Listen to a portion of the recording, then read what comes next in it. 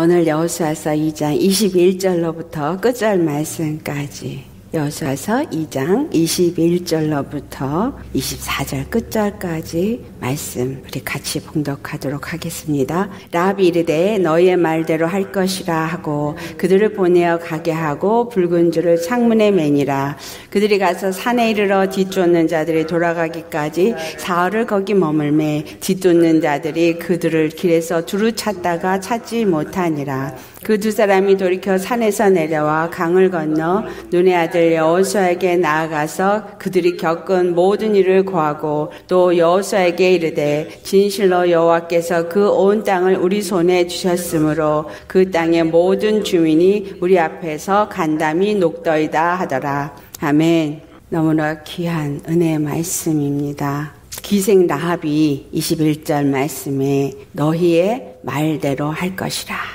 그는 두 정탐꾼이 서약을 맹세로 준 그 붉은 줄을 그대로 창문에 맵니다. 기생 라합이 너희의 말대로 하겠다. 한 이 말씀, 기생 라합은 그 말대로 창문에 붉은 줄을 매답니다. 이 말씀이 그렇다면 우리들에게 무슨 의미를 주고 있는가? 우리는 예수님의 붉은 줄에 매달린 자입니다. 십자가의 복음을 받은 자요. 그 십자가의 도를 우리 심령 속에 받고 우리 심령에 십자가가 들려져야 합니다. 많은 사람들이 교회를 다니고 있으면서 예수님이 십자가와는 무관한 상태로 신앙생활을 하고 있습니다. 그것은 왜냐하면 십자가의 은혜가 그냥 막연하게 내 죄를 사해 주시는 어떤 사건으로 과거에 있었던 사건으로 치부하기 때문입니다. 하지만 이 여호서를 통해서 알아야 할 것은 이 십자가는 과거에 있었던 예수님이 짊어지신 한 사건이 아니라 오늘도 내 안에 끊임없이 세워져야 하는 십자가다라는 것을 우리가 인식하길 바랍니다. 내 심령에 예수님의 십자가가 계속 세워져야지만 주님 안에서 그 은혜 가운데 거하는 자라는 거예요. 어제도 우리가 말씀을 나눴지만 그 십자가의 줄을 창문에서부터 땅에 들이워 내렸다는 건 예수님이 십자가를 죽기 위해서 하늘로부터 이 땅에 내려오셨고 또한 그 십자가를 통해서 그 길을 여섰기 때문에 그 십자가를 떠나서는 우리는 절대로 어떤 구원에 이를 수 있는 길이 없다. 그렇기 때문에 우리 심령 속에도 마찬가지입니다. 여리고 성에 있는 기생 나합의 집에 십자가가 드리워진 것은 바로 우리의 마음판에 십자가가 세워져야 될 걸 말하는 거예요. 마음판에 십자가가 세워진다는 것은 기생 나합이 내가 말한 대로 내가 할 것이다. 라고 한 것처럼 늘 우리는 어떤 사람이 되었더냐 하면 이제는 육에 대해서는 죽은 자요. 죄에 대해서는 죽은 자요. 다시 말하면 죄의 종에서 벗어난 자요. 하나님의 말씀 안에 사는 자라는 거죠. 예수 그리스도 안에 사는 자이기 때문에 예수님이 내 안에, 내가 예수님 안에 연합되어지는 그 관계로 나아가기 위해서는 늘 말씀이 나를 지배해야 된다라는 거죠.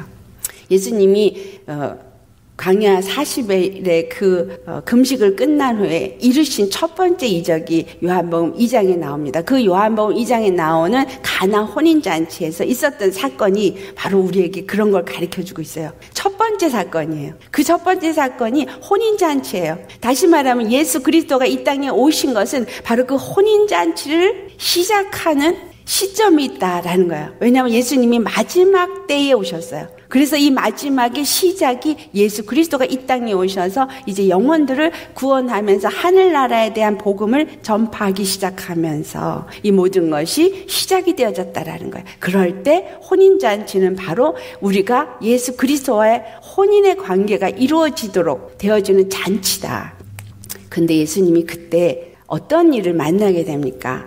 그 어머니 마리아가 와서 포도주가 모자란다 얘기를 해요. 이것은 그냥 포도주가 모자라기 때문에 포도주가 모자라면 다른 사람한테 가서 어, 포도주를 사오라고 해야지 왜 예수님한테 나와서 포도주가 모자란다는 보고를 합니까? 이 모든 것이 하나님이 하고자 하시는 일을 우리에게 알게 하시기 위함입니다. 자, 예수님께 와서 포도주가 모자란다 하니까 예수님의 대답이 여인이여 그것이 나와 무슨 상관이 있느냐라는 말씀을 합니다. 그 이야기는 다시 말해서 그들이 혼인잔치를 하고 있다고 애를 쓰고 난리를 치면서 즐거워하고 흥겨워하고 하면서 그들이 포도주를 마시고 있지만 그것이 떨어지던 있던 아직 예수님하고는 상관이 없다라는 이야기예요. 그들이 그 혼인잔치가 왜 예수님하고 상관이 없다라고 말하느냐. 그럼 그들이 하고 있는 혼인잔치는 무엇을 말하고 있느냐. 이스라엘이 율법을 가지고 율법 안에서 하나님과 혼인의 관계가 되어졌다고 즐거워하고 기뻐하고 그 안에서 뛰놀고 있는 상태를 말하고 있는 거예요. 그런데 그들이 포도주가 이제 모자라서 떨어져서 예수님이 가셨을 그 당시에 그 상황은 어떤 상황이었느냐 하면 정말 곤고하기가 그지없고 고통하고 있고 어떻게 해야 될지를 몰라서 우왕좌왕할 때 바리새인들이 율법을 더 강화하면서 이것으로 행위로 의롭다함을 얻는다. 사두개인들은 아니다 선한 행실로 인해서 의롭다함을 얻는다. 서기관들은 아 말씀을 많이 알아야지만 이것으로 어, 의롭다함을 얻는다라고 할 때 이 백성들은 도대체 어떻게 해야 될지 선지자가 없기 때문에 우왕좌왕할 때 예수님이 오신 상태를 말하는 거예요. 그래서 예수님이 나와 무슨 상관이 있느냐? 그럴 때 마리아가 그 하인들에게 하는 이야기가 요한복음 2장 5절에 말씀합니다. 뭐라고 말씀을 하냐면 그의 어머니가 하인들에게 이르되 너희에게 무슨 말씀을 하시든지 그대로 하라. 이 기생 나비 너희가 말한 대로 할 것이라 했을 때 기생 나비 한 마디나 지금 요한복음 2장 5절에 하인들에게 마리아가 말한 것이나 같은 이야기를 우리는 받아들이셔야 합니다. 예수님이 말씀하시는 대로 너희는 그대로 하라. 예수님이 뭐라고 말하세요? 저 발 닦는 규례를 행하도록 되어진 돌 항아리 여섯 개에다 물을 채워라 라는 말을 하세요. 그렇다면 이 기생나비 그 붉은 줄을 그에게 매달았다라는 이 안에 숨겨진 의미는 뭐냐 하면 그 돌 항아리에 물을 채워야 할 것을 말하고 있는 거예요. 돌 항아리에 물을 채우려면 그 돌 항아리는 무슨 항아리냐면 잔치자리에 들어온 손님들의 발을 닦기 위해서 담아진 물이에요. 그렇다면 그 물은 에베소서 5장 26절에 물로 씻어 말씀으로 정결케 하신다 하신 것처럼 그리고 27절에 흠도 티도 없는 영광스러운 교회로 세우신다고 한 것처럼 우리의 그 세상을 밟고 다니면서 먼지가 덮여진 발을 씻어야 될 것을 말하는 거예요. 율법 앞에 우리가 서는 것은 로마서 3장 20절 말씀처럼 죄를 깨닫게 하기 위함입니다. 기생나비 줄을 드리웠지만 붉은 줄을 드리웠지만 그 십자가 앞에 나왔을 때 우리는 무엇을 먼저 깨달아야 되냐면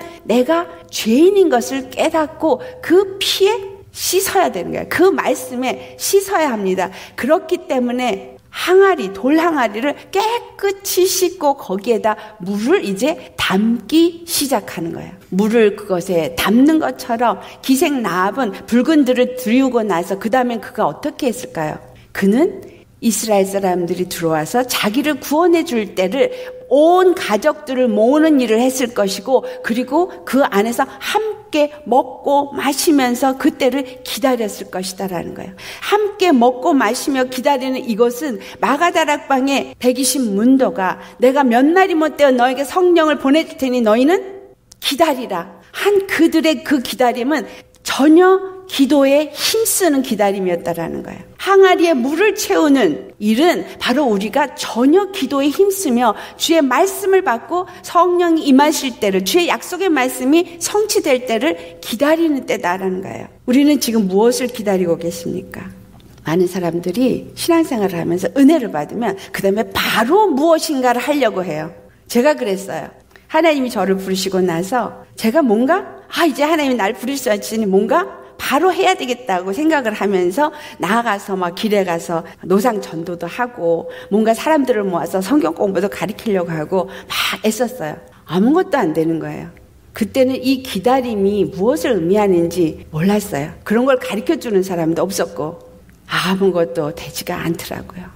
지금 지난 후에 보면 만약에 그때 뭐가 됐더라면 나는 아마 지금 교만에 충 충천했을 거예요. 내가 무엇을 하려고 했고 할 수 있다고 생각하고 했다라고 했으니까 주님이 나를 불렀으니까 주님이 나와 함께 하시니까 그런데 그게 아니더라는 거예요. 회개와 회개, 끊임없는 회개를 통해서 내 심령의 바닥같이 하나님이 무엇을 회개해야 할 것을 말씀 앞에서 드러내게 하시고 너는 말씀과 기도로 전혀 힘써라. 회개하고 회개하고 회개하고 회개하니 내가 정말 알지 못했던 저 폐부 깊숙이까지 있었던 많은 죄악들을 깨닫게 되고 하나님을 회개하게 되어지더라. 회개를 하고 나니까 그 다음에 하나님이 하나씩 direction을 주기 시작했어요. Bröselheit. 그리고 그 한 가지 direction에 순종하고 나니까 또 한 가지, 한 가지. 그렇게 하면서 하나님의 말씀이 나를 이끌고 있고 그 말씀에 순종할 때 그 말씀은 내게 십자가에 나를 못 박는 고난으로 인도했고 그 고난을 통과하면서 결국 내 심령이 하나하나 정결함을 입는 만큼 주님의 이끌림을 받게 되어지고 하나님의 영의 말씀이 그 다음에 기름 부음으로 부어지더라는 거예요. 이와 같은 것들이 있으면서 하나님의 때를 기다리는 자가 되어졌. 여섯 돌 항아리에 물을 갖다가 하나씩 하나씩 채워서 아구까지 돌 여섯 개의 항아리가 다 차고 난 후에야 물을 떠서 혼인잔치에 갖다 주라. 혼인잔치의 연회장은 어떻게 이렇게 좋은 포도주를 가질 수가 있느냐. 이전에 있었던 포도주보다 그 옛 포도주보다 더 좋은 것이 준비되었다라는 이야기를 합니다. 옛 포도주는 바로 율법을 말하는 것이고 좋은 포도주는 예수 그리스도로 말미암아 우리에게 준 십자가다라는 거예요.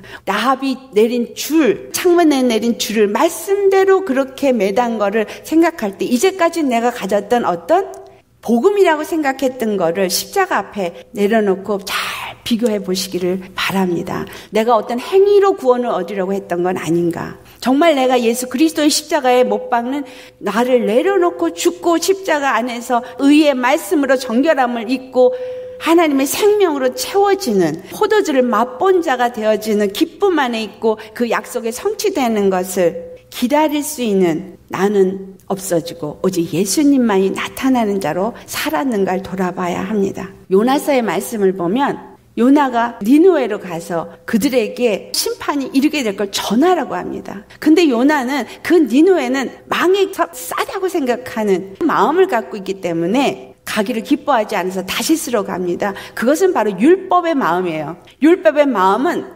정죄합니다. 나 자신도 정죄하고 다른 사람도 정죄하고 뭔가 나는 의롭다고 생각하고 나는 하나님의 자리에 앉아서 판단하는 자가 되어져 있어요.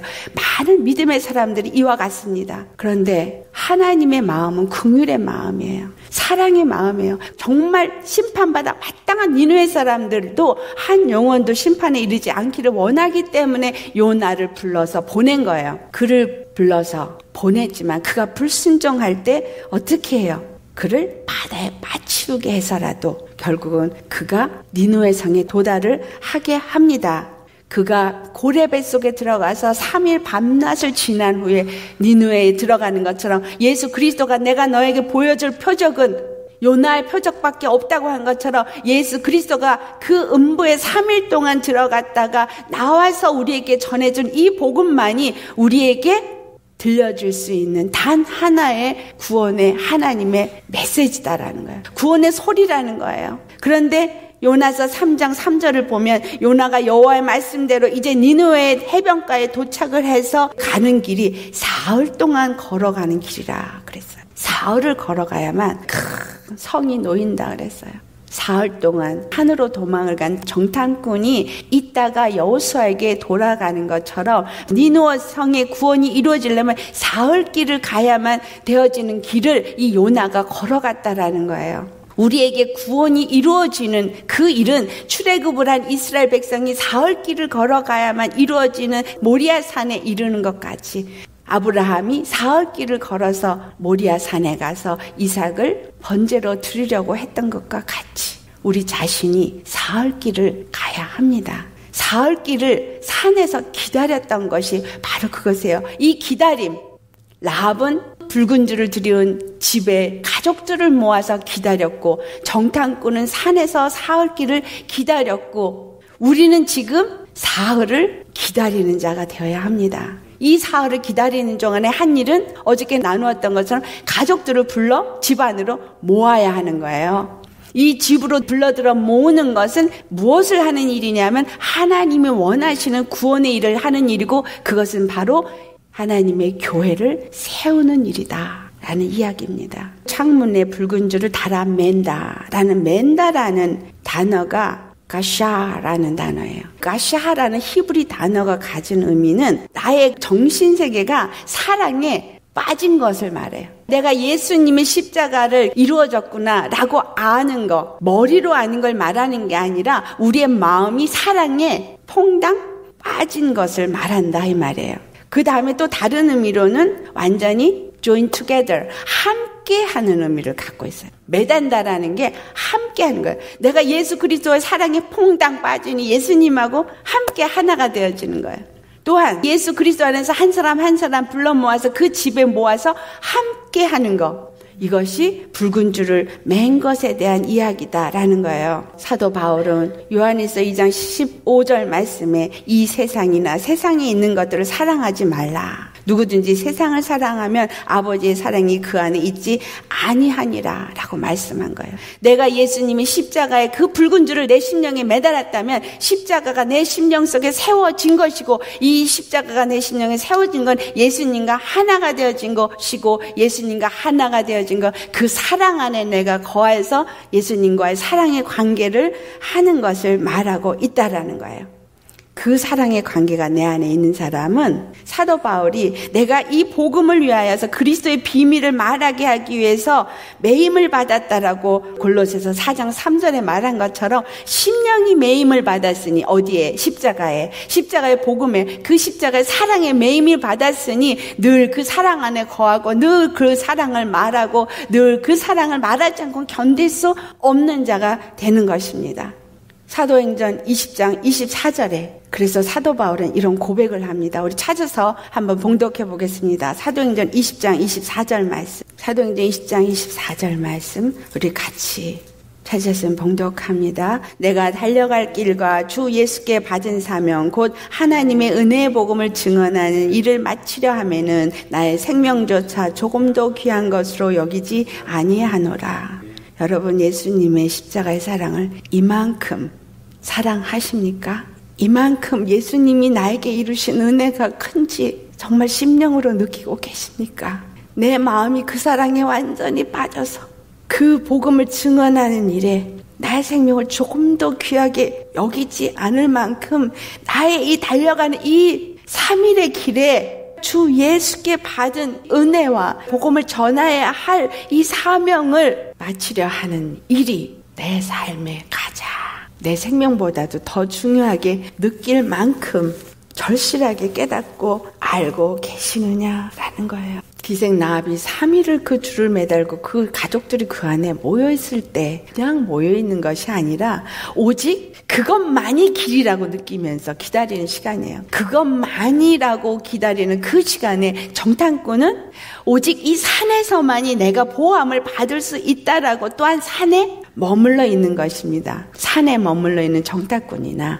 붉은 줄을 내려온 집 안에 거하는 라비나 바로 예수 그리스도 안에서 함께 보호하심을 받는 것을 의미하고 있다라는 이야기죠. 마태복음 7장 24절에 주의 말씀을 듣고 행하는 자는 그 집을 반석 위에 세운 자라고 말합니다. 그런데 26절은 그 말을 듣고 행하지 않는 자는 모래 위에 세운 자라고 말합니다. 이 십자가 외에는 그것 외에는 다른 것이 우리에게 구원의 이름을 주신 적이 없다고 사도행전 4장 12절에도 말씀하고 있는데 그 십자가를 알려고도 하지 않냐고 말하지도 아니하고 증거하지도 아니하고 십자가의 길로 사람들을 인도하지도 않는 것은 그 모든 사람들을 모래 위에 지어서 다 무너지고 심판에 이르게 하는 일이 일이요. 내가 오늘도 이 십자가가 가치 없이 여기는 자라면 멸망받기로 작정한 자가 되어졌다라는 이야기예요. 우리가 오직 의지할 것은 예수 십자가 뿐입니다. 두 정당꾼이 산에 있는 동안에 아무도 그를 찾지 못했어요. 10편 18편 2절에 다윗이 고백한 것이 여호와는 나의 반석이시여 나의 요새시여 나를 건지시는 이시여 나의 하나님이시여 내가 그 안에 피할 나의 바위시여 나의 방패시여 나의 구원의 뿌리여 나의 산성이시로다 라고 고백합니다. 우리가 오늘 예수님을 믿으면서 내가 이 땅을 살면서 내가 오직 피할 것, 구원을 받을 수 있는 것, 오직 나를 지켜주시고 나에게 의지가 되어지는 이 모든 것이 오직 예수 그리스도 뿐이냐? 우리는 돌아봐야 합니다. 주님 안에서 이와 같이 오직 예수 그리스도가 전부인 자, 그런 사람이 기생 라비오 두 정탐꾼입니다. 잠언서 10장 29절 말씀에 여호와의 도가 정직한 자에게는 산성이요라고 말해요. 여호와의 도 하나님의 말씀이 그 말씀을 진리로 알고 받아들이는 복음 안에 있는 사람은 그 말씀이 산성이라는 거예요. 예수님이 바로 나의 산성입니다. 내가 언제든지 무슨 일이 있든지 그 말씀을 붙잡고 나아간다면 그 말씀이 십자가의 복음이 십자가의 은혜가 바로 나의 산성이라는 거예요. 내가 피할 곳이고 나의 구원이고 나의 위로고 나의 바위고 이와 같은 믿음이 우리 모두에게 있어야 할 것입니다. 정탐꾼들이 사울을 그 산에 머물다가 눈의 아들 여호사에게 나아가서 그들이 겪은 모든 것을 말합니다. 이 모든 것을 말하는 이것은 주님이 그들의 입을 통해서 이스라엘 백성들에게 무엇을 말하고 있느냐 하면 바로 약속하신 하나님이 그 약속을 어떻게 성취하고 계시는지를 보고받게 하시는 것입니다. 예수 그리스도가 십자가에서 죽으시고 부활하신 사건은 이미 2016년 전에 일어난 사건입니다. 하지만 그 십자가의 복음을 듣고 또 들은 사람들의 증언한 사람들이 우리의 귀에까지 들리게 하고 우리가 그것을 경험하게 한 이 모든 것들은 하나님이 약속하신 저 영원한 나라, 영생에 대한 것을 우리에게 듣게 하시고 보게 하시고 알게 하시는 일이다라는 거예요. 눈의 아들 여호수아 눈이라는 단어, 50이라는 단어로서 예수 그리스도를 상징하고 있다. 바로 눈의 아들 예수 그리스도에게 이제 이 모든 것이 보고되어지는 것을 무엇을 말하고 있느냐? 누가복음 10장을 보면 70인을 둘씩 짝을 지어서 내보내고 그들이 돌아와서 예수님께 보고하는 것과 같다라는 겁니다. 그들이 나아가서 한 일은 뭐예요? 아, 우리가 귀신을 쫓으니까 귀신이 떠나가더이다. 아, 우리가 복음을 전하는데 이러쿵 저러쿵 많은 일어났던 이적과 표적들을 예수님 앞에 신이 나서 보고합니다. 그때 예수님이 말씀하신 것이 바로 누가복음 10장 19절에서 20절의 말씀이에요. 자, 우리 함께 찾아보시겠습니다. 누가복음 10장 19절에서 20절 말씀. 찾으셨으면 같이 봉독하겠습니다. 내가 너에게 뱀과 정갈을 밟으며 원수의 모든 능력을 제어할 권능을 주었으니 너희를 해할 자가 결코 없으리라. 그러나 귀신들이 너희에게 항복하는 것으로 기뻐하지 말고 너희 이름이 하늘에 기록된 것으로 기뻐하라 하시니라. 눈의 아들 여호수아에게 와서 보고를 할 때 많은 사람들이 기뻐했을 거예요. 야 여리고 성이 이제 하나님 약속대로 우리 손에 놓였구나. 저들이 떨고 있어. 우리는 진곳만 하는데 막 기뻐할 때 예수님께 나와서 보고한 70명의 제자들과 같은 이야기예요. 너희들이 뱀과 정갈을 밟으며 원수를 제할 능력을 내가 너희들한테 주었기 때문에 너희들이 나아가서 이와 같은 많은 이적과 표적을 행했어. 그런데 이것 때문에 기뻐하지 말라. 귀신들이 너에게 항복한 것이 기쁜 게 아니라 바로 그 하늘의 권세를 가질 자가 되어진 만큼 너희가 하늘에 기록된 것을 기뻐하라는 거예요. 정강군과 여루수아에게 속한 모든 이스라엘 백성들이 다 하나님께 속한 백성이잖아요. 우리가 예수 그리스도 안에서 하나님께 속한 자가 되었습니다. 예수 그리스도 안에서 하나님께 속한 자가 된 이것이 기뻐할 것이다 라는 거예요. 이미 가나안 땅은 하나님이 그들에게 약속했어요. 내가 너와 함께 할고 너는 이거를 다 정복해라. 약속대로 이루실 것을 지금 초장에 보여주고 계시는 거예요. 우리가 아직 하늘에 올라가지 않았습니다. 이 땅에 아직도 살고 있고 고통 가운데 살고 있습니다. 하지만 이 모든 사건들을 기록하게 하시고 또 경험한 자들이 간증하고 있는 이 모든 것들 또한 우리에게서 어떤 기도를 했을 때 기도의 응답을 받고 우리 안에서 변화 역사가 일어나는 이 모든 것들의 증거는 바로 우리가 약속받은 그 영생에 들어가게 될 것에 다만 표징이다 이 말이에요. 의심하지 않도록. 하나님이 함께 하시고 반드시 그 일을 이루실 거라는 표징을 우리에게 주시는 것이라는 거예요. 비록 내 앞에 낙심할 만한 요단강이 가로막혀 있어도 주님이 약속하신 대로 그 모든 일을 지금 이루고 계시고 있다라는 것을 의심하지 말라라는 이야기입니다. 성경이 기록된 것 또한 많은 그리스도를 만난 사람들이 증거하고 있는 이 증언들 또 우리가 경험하고 있는 일들은 결국은 내가 하늘에 속한 하나님의 백성이 되었다라는 걸 기억하라는 거. 그래서 두려워할 것 없고 염려할 것 없고 무서워할 것 없이 오직 그 예수 그리스도만이 그 십자가만이 나의 피할 산성이요 나의 요새시요 그 십자가를 통해서 내게 주는 말씀만이 나의 산성이 되어진다라는 것을 알라라는 이야기죠. 누가복음 보면 10장 16절에 너희 말을 듣는 자가 곧 내 말을 듣는 것이요 너희를 저버리는 자가 곧 나를 저버리는 것이고 나를 저버리는 자는 나 보내신 이를 저버리는 것이라는 말씀을 합니다. 우리가 이 십자가의 복음을 들고 말할 때에 이 십자가 복음을 받지 않는 사람은 바로 예수님도 받지 않는 사람이고 하나님도 받지 않는 사람이다 이 말이에요. 여호수아서에 말씀한 기생 나합의 사건, 이 정탐꾼의 사건은 그런 일이 기록됐구나가 아니라 오늘 우리에게 강하게 주는 메시지입니다. 하나님이 나에게 이루신 저 십자가의 사건이 얼마나 중요한 것이고 그것이 내게 무엇을 말하고 있는지 단 하나 나의 산성이라는 것, 단 하나 나의 구원이라는 것, 단 하나 나의 요새라는 것, 그 십자가의 복음만이 내가 피할 길이요. 내가 이 땅을 사는 동안에 그 모든 것에서부터 넉넉히 구원을 받게 하시는 하나님의 은혜와 사랑이다라는 겁니다. 우리 모두가 예수 그리스도 안에서 그 은혜를 입은 자이면 하늘에 속한 자요, 하늘의 이름이 생명책에 기록된 자라는 것을 기억하시고 의심 없이 믿음으로 기다리며 나아가는 자 되시기를 축원합니다. 주님이 이루시옵소서. 주님이 말씀하시옵소서. 주님 뜻대로 하시옵소서. 이 모든 것이 기다리는 자가 고백하는 말입니다. 은혜로움 십자가를 받고 믿음으로 그 사랑 안에서 거하며 기다리며 나아갈 때 반드시 주님은 하나하나 그 일을 성취하십니다. 아멘. 그 일을 행하시는 여호와, 그 일을 지어 성취하시는 여호와, 그 이름은 여호와이시라.